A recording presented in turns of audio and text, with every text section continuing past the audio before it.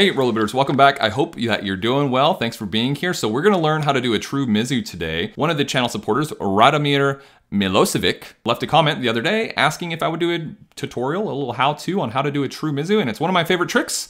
So I'm happy to do it. That's what we're gonna be doing in this video. Before we get into it, please, if you do end up liking the video, please give it a thumbs up. Consider subscribing to the channel. It helps get rollerblading out to more people here on YouTube. Anytime you're learning, learning new tricks, please wear your protective equipment, right? At least a helmet, wear as many pads as you feel you need. I always kind of mention this too, is that rollerblading is more of an art than a science. I'm gonna teach you my best approach to learning a true Mizou grind, but that doesn't mean that this is the be all end all of it, right? Take what works for you, discard what doesn't, and always be willing to learn from experienced skaters. And this video is gonna be pretty quick and pretty fast, but that is not always how you learn tricks, right? That's not always how it goes. So be mentally prepared. Oh, this is gonna be harder than I thought you know, basically what is it? Prepare for the worst, but hope for the best. So mentally go into this thinking it's gonna take a little bit longer than, than you may otherwise think. Okay, so let's talk about step one of the five steps on learning how to do a true Mizou grind. So this is a little bit non-standard, maybe a little bit different than other people may have mentioned in the past. I haven't actually I haven't actually seen any tutorials for true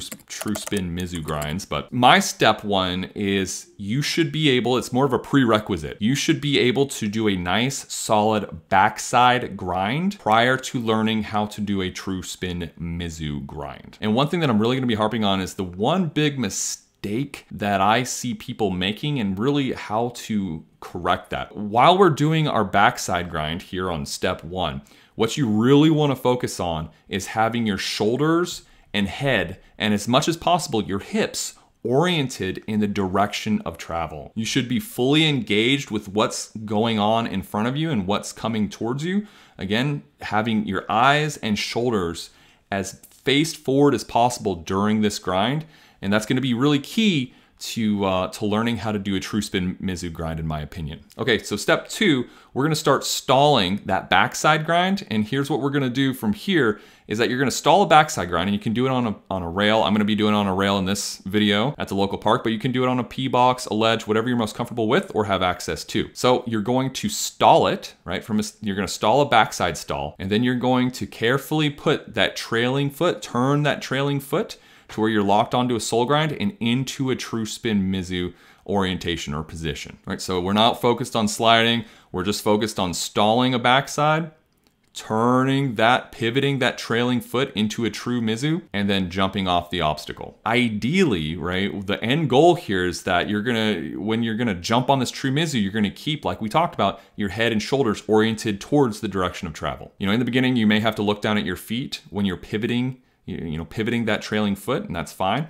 But you should quickly start focusing on not having to look once that you start building that muscle memory. And once you start getting a little bit comfortable, start coming at the obstacle with a little tiny bit of speed. So slide a backside grind, super slow, pivot that trailing foot into a true Mizou, slide a couple inches, whatever it may be, and jump off the obstacle and get a, just do this and start getting reps, reps, reps, reps. And one thing that I think that is really important at this phase two is to start building good muscle memory and good habits.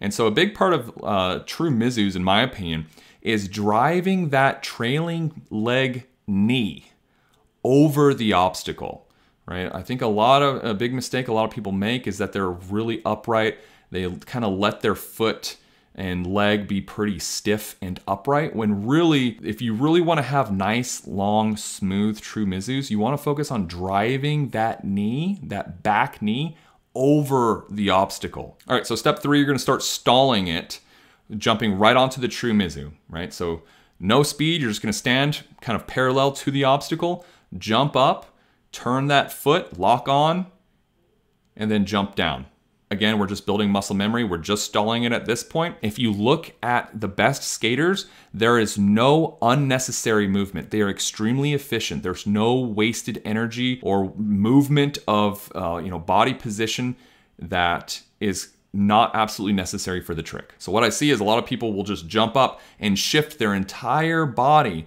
their shoulders, head, and hips all the way 180 degrees all the way around when really that's super inefficient and it does not help you achieve the trick very well. Okay, step four, you guessed it, we're gonna start rolling up to the obstacle with just a tiny bit of speed. We're gonna jump on that true Mizou And we're gonna slide a couple inches, focusing on keeping our knee, driving that trailing knee over the obstacle, shoulders and head facing the direction of travel. And we're not trying to be a hero here, just slide a couple inches and hop off. Stay here as long as you need to, just get reps and reps. Once you start getting a little bit more comfortable, um, you know, start speeding it up. But again, don't get out ahead of yourself and just take as many reps as it needs as you need to really to slide it nice and smooth, nice and far. And then step five is, you know, the fun part. In my opinion, like any new trick you learn is another puzzle piece, another tool in your tool belt to combine with other tricks, whether it be switch ups or on different obstacles or whatever it may be. Try it, you know, maybe try it switch only after you've really gotten super confident and comfortable with the normal True Mizou. Okay, and so those were the five steps on how I would tell you how to learn how to true spin Mizou grind. It's one of my favorite tricks. I hope you enjoyed the video. If you did, please, again, give it a thumbs up. Consider subscribing to the channel for more how-to videos and other rollerblading content. And uh, with that, roller booters, I will see you on the next video. Take care. Thank you so much to my Patreon supporters. Without your help, this would not be possible. If you want to support the channel through Patreon, check out the link down in the description below and check out the video on the screen. I'll see you over there. You're gonna pop your tire. Yeah, for real. Dude, that was sick. Bro, that was like, that was like 3,000 points right there. That was 3,000 points. Bro, if that was like skate 3, bro, I need like a skate 3 line.